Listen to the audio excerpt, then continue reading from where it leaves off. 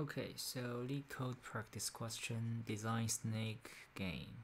So in this video, I'm going to introduce a solution for this specific question, and I'm also going to go through uh, the general procedure we should follow in a real coding interview. So let's get started. So remember, the first step in a real coding interview is try to understand the question, ask uh, proper questions uh, to clarify the ambiguous part, and also at the same time think about some edge cases. So let's read through this problem. Design a snake game that is played on a device with, with a screen size as height times width. So play the game online if you're not familiar with the game. So the snake is initially positioned at the top left corner with a length of one unit and you're given a array of the foot in and uh, is a row and the column position of a piece of food the snake can eat. So when the snake eats a piece of food, uh, its length and the, the game score both uh, increase by 1. So each piece of the food appears one by one on the screen, meaning the second piece of the food would not appear until the snake eats the first piece of the food. So when the piece of the food appears on the screen, it is guaranteed that it will not appear on the block occupied by the snake. Okay, so the food will not appear on the body of the snake. So the game is over if the snake goes out of the bound or if it is had if its head occupy a space that is that its body occupies after moving. Okay, so implement this uh, snake game class. Um, so this one it is a constructor and then this is a move function. So the move function will return the score the game after applying one direction move by the snake. If the game is over then we will return minus one. So let's see this uh, first of all the snake move to the right by one then down by one and then uh, to the right uh, and then the length uh, the length of the snake increased by one and also now the score is one we, we are going to return one so so on and so forth so how to do this problem? The next step is about finding idea how to solve this problem and do some uh, space uh, runtime analysis uh, and discuss with the interviewer to get an agreement before proceeding to the next coding step. So we have, so I will go through the solution and at the same time go through this piece of code to explain how it works. So we have, first of all, we define the, so we use, queue, we define the queue, uh, we define two, two things uh, for the body and uh, one queue for the foot. And we have a uh, a integer which record how, how many of the food units have been uh, eaten. So the wise the head the body the body defined as a set which uh, is um, the the corresponding units occupied by the body. And the body queue um, so this queue is um, so the head is the last element and the tail is the first element. So it's like every time we try to move uh, we try to remove the first thing which is the tail and uh, we add one unit into the uh, into the body queue to the to the to the last and then the foot queue is uh, we just put uh, the foot um, in the constructor one by one into the foot queue. So let's take a look at the uh, the constructor. So first of all, we will initialize the west as west minus one, which is for easier computation. Uh, this is about like defining the boundary um, actually uh, for for this uh, game.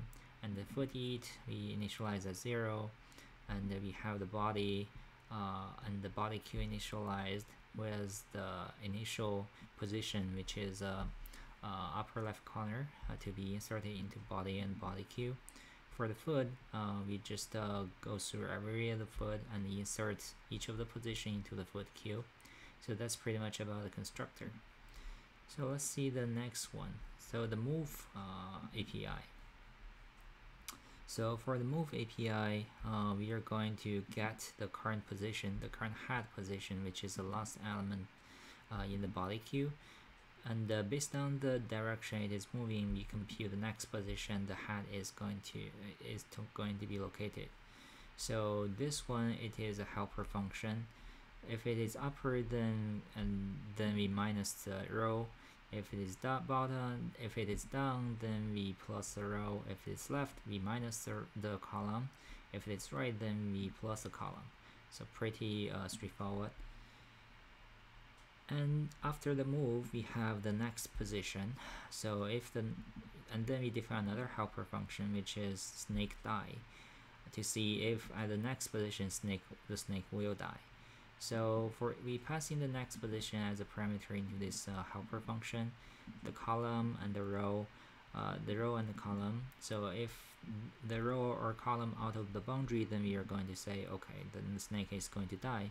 Otherwise we will see if uh, the next position uh, so if the next position equals to uh, the is not so if the the next position is equal to the tail it is okay uh, because that is because essentially um, essentially if the, the snake disappear uh, sorry the the tail of the snake disappear then the next position is the original tail. That's okay. It is not going to die.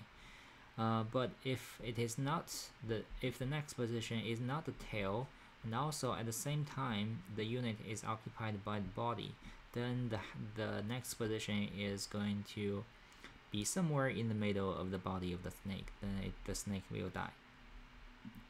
So this is the snake die function. And then um, so uh, the next one which is uh, to see if the food, so if there's still any food in the food queue and also if um, uh, if the if the so if it, there's st still some food in the queue and also the foot doesn't uh, fall into any of the units uh, occupied by the body. Um, and uh, the and the next position is the foot in the queue in the in the first the the first position uh, I mean the neck the top position of the foot in the queue which means that if we move to that direction we are going to eat one unit of the foot then we are going to uh, just uh, extend the, bo the body queue because we eat, a, eat one unit of food we need to extend our body length by, by one. And we update our body set and also we pull the foot unit from the queue then we plus plus the foot eat and then we return the foot eat. So otherwise it means next position is not a foot unit. So we are going to uh, we are going to just um, remove the tail uh, which is the last one and at the same time remove the the the unit occupied by the tail from the body. And then we are going to add the next position into the into the queue and also add the next position into the body to uh, update uh, the the units occupied by the snake. And then we return the foot eat so essentially you can see the algorithm uses a set for a quicker lookup and we use a queue uh, body queue and the foot queue for uh, the for the movement of the snake and also for the consumption of the foot.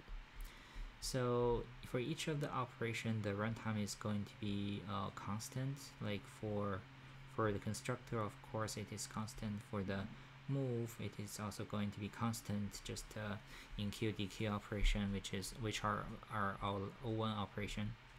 So that's it for this uh, question. Um, so don't forget to do some testing after you're done with coding.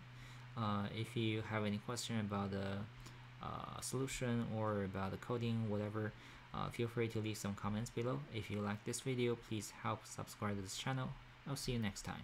Thanks for watching